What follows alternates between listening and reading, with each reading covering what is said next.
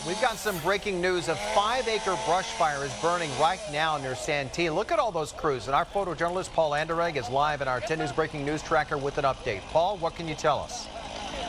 We're on Mission Gorge Road on the east side of uh, where Cowles Mountain is by the Father Junipero Serra Trail. You can see all the firefighters here. They just uh, got finished knocking down most of the largest flames. Right now, they're uh, just cutting brush to make sure it doesn't spark back up.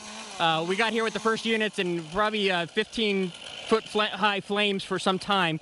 So uh, we're going to stay on scene here. We'll bring more updates on this on 10 News this morning. Back to you. All right, Paul, thank you. Let's hope that's not due to some fireworks out there tonight as well. All right, in the meantime,